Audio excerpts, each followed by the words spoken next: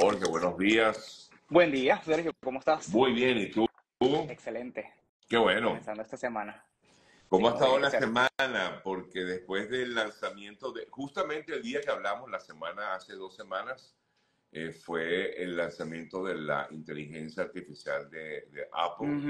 Y, y bueno, ya has podido utilizarla, has podido ver los avances, ¿qué tal? ¿Cómo la viste? ¿Cómo, cómo la has visto? Una de las noticias, bueno, empecé- empecemos por allí, ya que, pues, tal cual lo indica, cuando estábamos hablando, está ahí que, uy, hubiera sido el día anterior y hubiésemos empezado así Claro, hubiera pero, sido perfecto, exactamente. pero bueno, todo realmente excelente porque también se pudo contrastar un poco de qué va esto. Para los que no saben qué, qué es eso de, de la inteligencia artificial de Apple, hace, hace, hace exactamente casi dos semanas, Apple lanzó justamente actualizaciones donde incorpora en su sistema operativo toda la inteligencia artificial. Hay muchas cosas, de verdad que eh, si pudiese, pudiese ser una cátedra y hablando aquí con Sergio y contándote todo lo que, lo que trae, puede, puedo tardar hasta una hora hablando de esto, pero voy a ir a lo más importante. Primero, eh, estará disponible solamente con los sistemas operativos, pues, eh, digamos, más, Más más, más recientes. Ok. Exacto, desde el, desde el, por ejemplo, si es un iPhone, desde el 15 Pro en adelante. Eh, desde la, incluso si tú te metes, luego Sergio cuando haga, pues, el, digamos que el resumen de la noticia, pueden ver en la, en, la página web de, de la propia Apple, pues, cuáles son los dispositivos, pero son las últimas Macs, las últimas iPads. Este sistema operativo, pues, me, me imagino que, que asumo que a la hora de hacer la actualización, pues, tiene que tener la mejor tecnología porque realmente viene con todo. O sea, un iPhone 14 no funciona. No, No. no. Incluso realmente, exacto, pero te digo, seguramente del 15 en adelante, le va- como ahorita van a hacer también el lanzamiento del nuevo iPhone también, pues me imagino que los que tengan el 15 van a tener, o los que tengan, de- ahora sea como sea, van a tener que comprarte el 15 y de en adelante pues va a estar disponible. O sea O que, sea como sea, tienes que comprarte el 15. exactamente, al que no le gustaba la, la situación ya tiene que cambiarse, empezando por ahí. Ok. ok. Eh, pero bueno, nada, realmente me gusta mucho porque es, es una, es una tecnología, ya sabemos que la y lo hemos hablado en diferentes ocasiones, que la inteligencia artificial está con nosotros, ya eh, nos acompaña en el día a día y sea como sea, aunque nos resistamos, está aquí y hay que, y hay que utilizarla.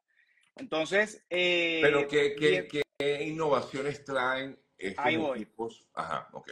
Por ejemplo, hay diferentes cosas en las que te va a ayudar en el día a día. La primera se llama, por ejemplo, Writing Tools, que básicamente en español es que si tú estás utilizando un correo electrónico, por ejemplo, y tú estás súper furioso y dices, ah, es que el jefe me dijo esto y, y, ¿sabes? y el correo lo estás redactando con unos sentimientos, ya la inteligencia artificial te va a poder ayudar a darle un tono. Ejemplo, mira, quieres que sea amistoso, quieres que sea corporativo, quieres que sea de tal forma. Entonces, por ejemplo, la, la, la inteligencia artificial o el Writing Tools, cuando tú redactes ese correo, que tengas tus emociones a flor de piel o whatever lo que te esté, esté sucediendo contigo y lo que estás escribiendo, ella O te va a sea, ayudar. tú Entonces, le vas a decir a, a, a Writing Tools, eh, por decir algo, le vas a decir, ok, hazme este, este mensaje con un tono más suave. tú lo Lo re- redactas y, tú le, y luego le pones, por favor, ayúdame que lo redacté con... Corrígemelo, pero con un tono suave, por favor. correcto, correcto. Entonces, oye, está, está genial. Incluso mi profesora de gramática de la universidad se va a morir con esto. Y luego viene el proofread, que básicamente él te corrige la gramática y las, y las, y las sentences. O sea, como que la, cómo tú ordenas la, la, digamos, las oraciones. Imagínate que si tú tienes una mala gramática y tú tienes esta, este, este, este, esta herramienta contigo, oye, ya la gente va a decir, wow, qué ilustre. Esto es excelente porque, bueno, volvemos a lo mismo. El, saber escribir también es un arte, pero bueno, la inteligencia artificial también nos va a ayudar en eso. Entonces, no solamente tenemos el Writing Tools, sino que el Proof, que se llama Proofread, básicamente lo que hace también es que te ayuda a que tu gramática también, sobre todo, por ejemplo, creo que no solamente los, los, los profesores de gramática están temblando con esto, pero yo creo que también ayuda mucho a los, a los bilingües, no, no, eh, los que hablan francés, eh, otros idiomas que no son su, idioma nativo, porque sabemos que a veces no sabemos decir las cosas de un, como el propio nativo, de, por ejemplo, en los Estados Unidos. Entonces me parece genial porque hay veces que uno habla, por ejemplo, con una persona que nació, por ejemplo, en los Estados Unidos y se queda como que cuando uno dice las cosas, porque claro, uno las traduce. Eh, Jorge, y la verdad, pues. quería comentarte, eh, o sea, Ujú. yo sí veo que efectivamente eh, la, la inteligencia artificial llegó para quedarse, ¿no? Y, y, o sea, ya está aquí con nosotros y sin duda alguna te va a ayudar muchísimo en muchas áreas, pero también pienso que yo creo que la discusión muy, que va muy en torno a eso, la discusión que hay, es que eh, igual te va a ser un poco más, no sé cómo llamarlo, a ver, que no suene tan feo, estoy buscando... No, no, tranquilo, exacto. No, estoy buscando, no, pero no por ti, lo digo no, por, cualquiera. Pero sí, nos va a hacer un poquito más... Eh, eh, poco creativos, flojos, aquí comenta alguien, Fleming, gracias, brother. Esa es una palabra buena que no es fuerte tampoco, flojo. Nos está creando, está creando una generación más floja. Puede Fíjate, O, sea, es, una, es una manera de verlo. sea como sea, por los momentos, tienes que, tener, tienes que discernir también muy bien porque la inteligencia artificial no es perfecta, es una realidad. O sea, digamos, en, en mi equipo de trabajo a veces veo también, eh, digamos, cosas que me entregan, eh, no solamente mi equipo de trabajo, sino que a lo mejor yo les mando a, vamos a decir, un cliente que me mande un resumen, vamos a decir, de su, de su, de su trabajo, y yo veo que utilizó ChatGPT, ejemplo, eh, se nota. O sea, hay cosas que todavía ¿Cómo, se ¿cómo, ¿Cómo puedes corroborar? O sea, ¿cómo puedes Oye, decir? no es, por ejemplo, ahorita que tengamos, ahorita que tenemos el Writing Tools, que es lo primerito que hablamos, que te da como ese tono, que es más amable y todo esto, sí noto cuando me entregan cosas que, oye, el tono, o sea, tal cual, lo que es el tono, la, gramática y muchas cosas, los está haciendo una máquina. Entonces, vamos a ver cómo, se, cómo funcionará esto con, con el iPhone, por supuesto, y a medida que vaya actualizando, pero sin embargo necesitas, sea como, es como, es como cuando, digamos que es una herramienta, pero yo sea como sea, aunque te dé ese tono y aunque te dé todo esto que estamos hablando, sigo diciendo que el humano tiene que estar en un gran punto de correcciones porque es imposible que sustituya al humano, eso es importante. Pero va a acelerar mucho el tema del pensamiento. Claro, pero tienes que tener, ojo, pero tienes que tener pensamiento crítico. Como claro, pero también, o sea, eh, yo te repito, yo utilizo algunas cosas de inteligencia artificial porque me facilitan el trabajo o me lo hacen más rápido. eh, pero igual siempre tengo yo que estar encima, tengo que corregir, tengo que, que revisar, no, siempre tiene todavía muchos errores, no es perfecta. Es correcto. Y yendo a qué irá a pasar con nosotros si seremos flojos y todo esto, oye, la verdad no, bueno, lo mismo, no lo creo porque se, se, irá avanzando, será muy, muy avanzada cada vez la inteligencia artificial, pero sin embargo siempre el humano tiene que estar para corregirlo. Hasta, bueno, hoy, hoy que estamos hablando, pues eh, es así, ¿no? Sin embargo, bueno, eh, ya, o sea, yo te pregunto, tú que, que, que manejas el tema eh, y que tienes años trabajando en el área digital, em, ¿cuáles son para ti los, los beneficios de la, de la inteligencia artificial y los y los y las la, y la parte negativa de la inteligencia artificial?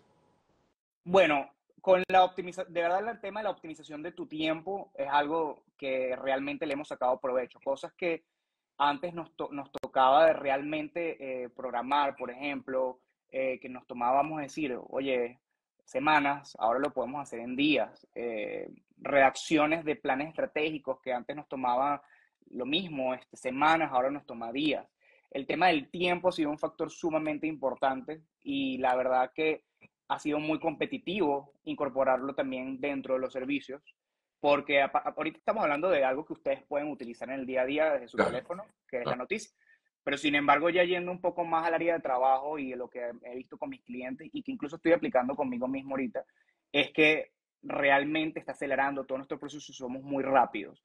En un mundo donde todo está avanzando tan rápido, y, y que eh, la demanda, incluso, vamos, lo que estamos aquí somos dueños de negocios, sabemos y nos vamos a reír que cuando nos, nos dicen precio o algo así, o tardamos, o, whatever, lo que sucede es que nosotros a veces también escribiéndole a la persona o tomándonos un, vendedor que va a estar como, ¿sabes?, dándole toda esta información o todos esos procesos que digamos que antes tomaban tiempo y que son pues parte del día a día, ahora son mucho más fáciles automatizarlo. Claro, claro y, básicamente hace que la gente, ya, ya digamos que hasta el, tú, tú, que nos estás viendo hoy, tú, tú también, ya la paciencia como tal de respuesta hacia, tu, hacia las, cualquier cosa o situación del día a día, la quieres inmediatamente.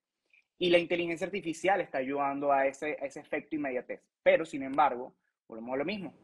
si, hay un punto en donde hay, hay productos y servicios donde se pueden automatizar algunas cosas, vamos a decir que un 50%, pero otras necesitamos todavía al, al humano. ¿Por qué? Porque, oye, son, son, vamos a decir que en negocios como el e-commerce, que, que, es un e-commerce, un e-commerce es, digamos, un producto que yo puedo, o sea, yo me puedo comprar esta taza y no tengo nada que discutir, es azul, verde y te tomas aquí tu café, tu agua, lo que tú quieras. Si eso yo lo automatizo con inteligencia artificial, que son respuestas y preguntas y respuestas que son muy robóticas, perfectamente lo puedes hacer. Claro pero ya por lo menos lo que hace Sergio, lo que hago yo en un punto, mm. Mm, no puede ser automatizado hasta un punto porque, claro, yo tengo que escuchar a ti, tengo que saber qué es tú lo que necesitas. ¿Qué puedo automatizar? Bueno, y eso, eso lo voy a hacer próximamente, por cierto, eh, que puedo hacerte, por ejemplo, antes de yo tener una entrevista contigo y tener una reunión contigo, oye, yo te mando mi, mi, mi inteligencia artificial de Jorge, que está entrenada con mi personalidad, y te va a hacer todo un cuestionario y ella va a discutir y te va a decir, por ejemplo, si puedes trabajar conmigo o no. Eso, pudiese eso pudiese ser una funcionalidad para yo no estar con todas las reuniones todo el tiempo y, si y no hacer te va, perder el tiempo. Te va a facilitar el trabajo, por supuesto. Exactamente. es un ejemplo. Eso lo entiendo. Y ahora, ¿hay, hay aspectos negativos? O sea, esto de lo que hablábamos de, de, de, de, la flojera, el pensamiento crítico. Fíjate, el, lo primero que creo que las, las escuelas eh, tienen que también cambiar y tienen que empezar también a entrenar a los, a, pues a, los jóvenes con todo esto, es que tienen que tener pensamiento crítico. O sea, no, no, es, no, no es que eh, la inteligencia artificial te controla, es que tú controlas la inteligencia artificial, empezando por ahí. O sea, tú tienes que tener capacidad de pensar y, nos, y, capacidad también de discernir, oye, esto estará bien o estará mal. ¿Por qué? Porque si no, oye, si no, el mundo se va para abajo, porque si, imagínate, es como las noticias. Tú cuando tú tienes tus noticias, tú tienes que, sea como sea, saber, oye, interpretar también y buscar fuentes. Lo mismo es con, la inteligencia artificial. Oye, eh, digamos que, ok, me, hace esto, pero yo tengo que, oye, buscar otras alternativas, otras fuentes, como, oye, no, no, por ejemplo, en la creación de imágenes, para ir un poco más a, la noticia, eh, eh, todo, si les digo cuántas cosas actualizó la, el Apple Intelligence, va desde el texto hasta imágenes, videos, el Siri, que es el, que lo que nosotros utilizamos para preguntarle, todo eso está incorporado y ahora es mucho más, digamos, eh, pro, si lo queremos ver así para resumir esa noticia. Pero yendo a lo que Sergio pregunta, todo esto, eh, al final, digamos que eh, tanto, tanto los, las nuevas generaciones y todo lo que viene, tienen que, sea como sea, inyectarle esa capacidad de pensar y que no nos volvamos, que, no, que seamos autónomos y que, este, y que, y que la inteligencia sea un complejo. Que no, seamos autómatas, exactamente, que no seamos robots. Es correcto. ¿Por qué? Porque, bueno, obviamente, y me gustó mucho, por ejemplo, no sé qué película, la verdad, porque la vi, creo que, no, creo que era la Atlas, la de Jennifer, con Jennifer López, que si no la han visto tienen que verla, pero, y, y ahorita vamos con, incluso ahorita vamos con la otra noticia que es con Elon Musk, pero Elon Musk hace unos años está desarrollando algo que justamente es la red neuronal, que básicamente una red neuronal eh, lo que hace es que hay un puente entre la inteligencia artificial y, y, tú como humano.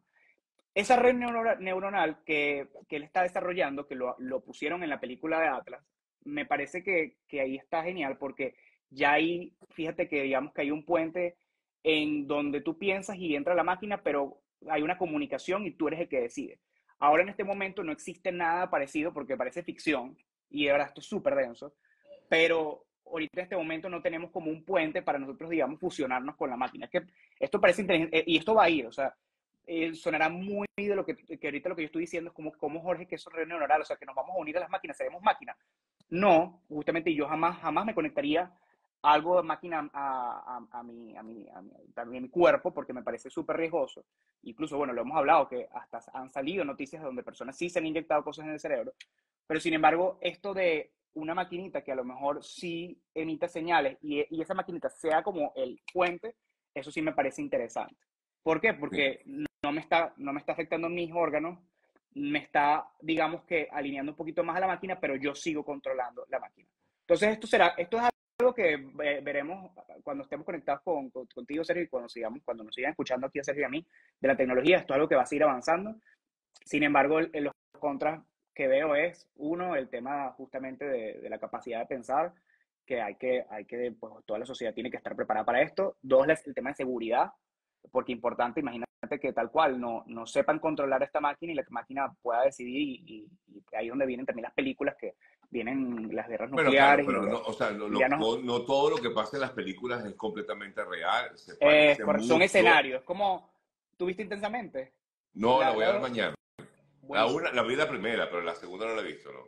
Bueno, es como los que vieron intensamente estamos, estamos yendo a, la, a, ansiedad. Eh, porque claro, hay muchos escenarios y no podemos tampoco de igual forma ir a, a, justamente al, sentimiento de ansiedad. Porque, oye, sí, tanto, tantas situaciones pueden abrumarte, pero vayamos a las que podamos controlar Es, mi, es mi concepto. Eh, eh, alguien comentaba por aquí que es factible que muchas personas pierdan su empleo. Sí, es factible. Es factible que pierdan. Pero mira, mira esto que interesante. Son más las oportunidades de empleo que, que están surgiendo que las personas que están perdiendo Que se abren nuevas oportunidades de trabajo en áreas más específicas como esta. Porque, ojo, no es que, no es que eh, la inteligencia artificial eh, va, sí, pues, pues, es factible que elimine algunos, unas plazas, pero esto igualmente tiene que, la, la inteligencia artificial tiene que ser manejada por una persona. Es correcto. Sí, no, no. Y, además de eso, tiene que tener la capacidad, bueno, mismo, tiene que haber un humanos tras de ello porque nosotros somos los que decimos en este mundo, pues. No, no ahí es donde, y, y, de verdad se está, se está abriendo mucha oportunidad y, no necesitas ser programador. Eso es otra cosa también importante. Antes tú necesitabas entender estos códigos y todas estas cosas. Ya fíjate que no, básicamente no necesitas esto. Por ende, nada, sí, abrirte la oportunidad. Entonces, yendo, yendo y hablando un poco de, lo, de, de, de Elon Musk, de lo que hablamos de la red neural, esa es otra de las noticias que les quiero hablar y que me parece interesante para los que están en Centroamérica, eh, Latinoamérica y diferentes partes, de diferentes partes del mundo. Eh, Elon Musk lanzó algo que se llama Starlink Mini.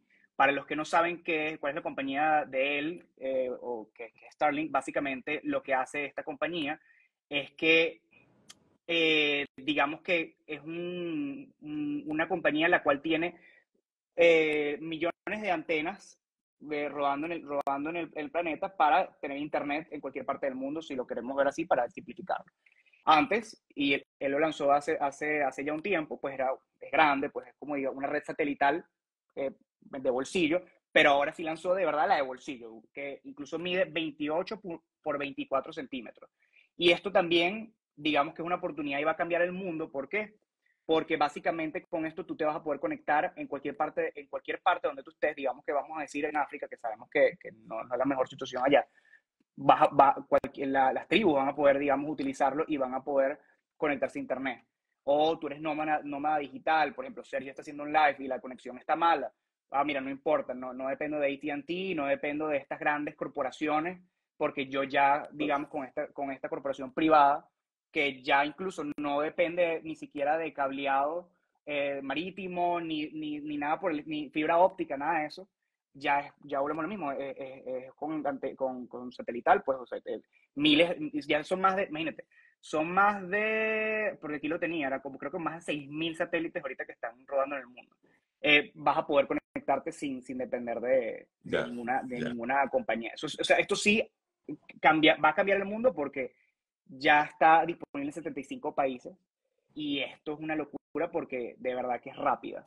No lo tengo, no lo tengo ahora, yo no lo tengo todavía, pero sí tengo pues colegas que lo tienen y de verdad que trabajan hasta se abrió una oportunidad de negocio, ya, ya, se, ya se cayó. Pero ahora, pero eh, ya está funcionando en varios países? Sí, más de 75 incluso, eh, si ustedes ponen en, ahorita en sus buscadores, Starlink se escribe S-T-A-R-T, link de link, L-I-N-K, mini, van a ver cómo es, cómo es el dispositivo. Incluso si tú lo quieres comprar, ver si está disponible en tu país. el dispositivo cuesta, eh, si no me equivoco, casi alrededor de 500 dólares. Y tener como el plan, porque tienes que tener un plan como, como todo, como un teléfono, lo que sea, cuesta 30 dólares en adelante. ¿Y saben si se puede usar en Latinoamérica? Hay varias partes de Latinoamérica, por ejemplo, sé que Argentina lo tiene y Colombia, si no me equivoco. Okay, eh, Va, esto va creciendo, esta noticia es de, entre 3 a 4 días que, que, digamos, que lanzó, cojo, que ya existe, pero ahora está la que te digo, el Pocket. Ya existía el Starlink, pero ahora vamos a decir también, no es el tamaño de la taza, pero digamos que es así. Y o sea, si, si no me equivoco, cuesta 500 dólares. El, el, el, la, la, máquina como tal, el, dispositivo. Ahora, si tú quieres, digamos, tener gigas, Y todo esto empieza de los 30 dólares que tú como un plan mensual, pero tienes que tenerlo. El, Elon Musk incluso habló de, de, su pues, Starlink y dijo que su, su meta es que sea mucho más económico, pero sabemos que o están trabajando, como todas las empresas que, que hemos inclusive si, si ves el programa... O sea, que, o sea ya Elon Musk va a eh, globalizar el Internet. globalizar el Internet. Claro, olvídate, o sea, es Por eso que te digo que cambia para y mí. si es así de efectivo, o sea, nos cambió el mundo. Es exact, exactamente por eso lo digo. Y a lo mejor dirán, ver, ya el Internet existe, ¿qué noticia estará mm. diciendo Jorge que no, será relevante? Pero, pero claro, es un, bueno, no sé si es este es ese mismo. Es ese exactamente. Pero es un aparatico para quienes me están viendo del otro lado. Nada, como una especie de, ni siquiera es como una antena. Como un iPad. Es como un iPad. Es correcto. Y miren, la verdad que, que es súper interesante porque realmente... Y lo adquieres, perdón que te interrumpa, Jorge, lo adquieres online, sí, correcto. Sí, incluso tienes que poner una, una, ubicación física para que ellos te lo envíen, incluso, esto seguro, yo sabía que me lo iba a preguntar, entonces eh, en eh, lo, o sea, lo vi en preguntas y respuestas de, de, la propia página de allá, dicen que si en este caso tú lo quieres, te lo quieres llevar, lo, lo puedes hacer, pero sin embargo, si llegas a quedarte en un país, vamos a decir, más de dos meses, tienes que cambiar la dirección para que ellos actualicen que, que, en este caso estás en ese país. Pero sí lo puedes, sí puedes trasladarlo mientras la red esté disponible en ese país y en esa ubicación. Pero ya está cambiando básicamente el mundo porque volvemos a lo mismo en Estados Unidos, que sí está disponible. No, pero es que por favor, aquí, eh, o sea, aquí se va, o sea, incluso, digo aquí en Miami, eh, hay, cada una ayuda. Es problema. Sí, es correcto. Señal. Porque eh, dependemos de de fibra óptica, dependemos de cableados, dependemos de muchas cosas. Mira, alguien comenta que ya en Venezuela estaría funcionando. Imagínate, sería maravilloso. Porque la, señal de red de Venezuela es muy, muy, muy mala, ¿no? Es correcto. o era muy lenta, por lo menos. Exacto. he escuchado eso y bueno, también que, parte del equipo está en Venezuela. Sí, a veces. Y, ahí, es donde, ahí es donde voy. Ahorita tú necesitas estar conectado al Internet y es una realidad para tú trabajar. Claro.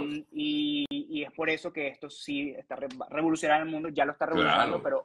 en Internet no, hay, inteligencia artificial, por ejemplo. Que es, correcto, es correcto, es correcto. Así que, vuelvo a lo mismo, si tienes, si tienes la capacidad, eh, digamos, de inversión, hazlo, si no, espera porque sí va a bajar el precio. O sea, seguro, seguro, se va a masificar, claro, Exactamente, o sea que no, no te digas, coche, lo tendré o no tendré, vas a tenerlo, estoy seguro de eso, porque ya empezó por, empezó por unos pequeños países, ahora fíjate que son 75, van, van a ver que son 100, pero que dicen, hay noticias que, y páginas que dicen que son 100 países, pero yo busqué de verdad esto sí, y son 75 países los cuales sí tienen esto, esto ya disponible, pero wow, son 75 países. Mira, aquí comenta alguien que, bueno, te te, pregunta que si es por electricidad o con batería propia, no lo sé.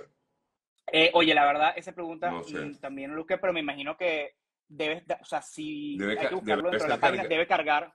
Claro. Exacto, porque al ser inalámbrico tiene que, tienes que hacer el plugin y, como con cámara y de alguna manera y luego dejarlo. Pues, es correcto. Alguien comenta por aquí. Otro sí, hay uno que sí es pegado, que es el grandote, que ese sí es así. Vi camionetas con eso en el techo rodando en Venezuela. Bueno, o sea que posiblemente ya esté funcionando en Venezuela. Veamos. Bueno, buscar en la página web, exacto. ¿Cómo se llama? Starlink, que es la compañía Mini. Mini. Mini. Es correcto. Y para no abrumarlos también con, con, con, temas tecnológicos y todo esto, que aparte que bueno, estamos en temas tecnológicos, pero, pero que digamos, Berro, algo, algo que también la tecnología puede estar en el día a día en lo físico, es la tercera noticia que me pareció súper interesante, es que Netflix ahora va a tener espacios físicos.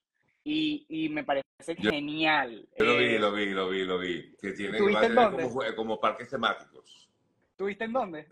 Sí, en, Texas creo que hay uno. En Dallas, donde ah, yo, o sea, eh, ah, eh, okay, Claro, Tengo, que, tengo que decirlo. Ojo, hay creo que otros dos eh, va a ser... En Pensilvania, creo que, era el otro lugar. Y, son otras, otros dos lugares más. Sin embargo, me parece interesante porque ahí es donde ven que el poder de la tecnología que hizo que Netflix también pues sea uno de los canales de streaming con mayor alcance pues mundial. Ahora, pues el, el cine que sí se ha visto muy afectado, es una realidad que, que, incluso yo que vi intensamente, ah, por eso te había preguntado también que si lo habías visto, eh, pues estaba, estaba lleno, pero no estaba tan lleno tampoco. Eh, me, me, acuerdo que, que, que, antes uno para ver un tipo de película como esta, más bien había que esperar a que habían, hubiesen claro, puesto. Claro, cine... La cola, qué sé yo, el estreno. Eh, claro, es, toda esa experiencia que... Mira, lo, lo, interesante de estos parques temáticos que está inventando Netflix, eh, que mm. creo que ya se han hecho algunos intentos, eh, pero la idea es que, bueno, que tú te sumerjas en el mundo de las series de Netflix, es decir, eh, según lo que veía yo también, que me llamó mucho la atención, van a hacer un parque sobre, eh, sobre Stranger Things, eh, sobre el, el, juego del calamar, y en la otra serie es Bridgerton. Bridgerton. ¿no? Es correcto, aquí lo tengo. Bridgerton, Money Heist, Stranger Things, Squid Game. Ah, de la casa de papel, imagínate, qué bueno. Sí. No, es que debe es, ser ellos, ellos han hecho eventos. Lo, lo, lo, que son las series exitosas pues, de Netflix. Sí, y que son emblemáticas. ¿no? Es correcto. Sí. Correcto. Ellos lo van como a, a, renovar. Imagínate que salgan, salgan estas series o salgan películas que, que lancen. Son, digamos, e, e, ellos usualmente hacen eventos donde la gente se, se inmersa en el mundo. Se involucra. De, de, pues ahí involucra. es algo interactivo, me imagino. Es correcto. Claro. Sí. Ahora entonces tú vas a poder, desde comer, de comer comidas personalizadas, los espacios personalizados, teatros para verlo personalizado, la creación de contenido, porque también esa es otra, que ahí es donde me encanta también, porque esto sí entra la tecnología también acá.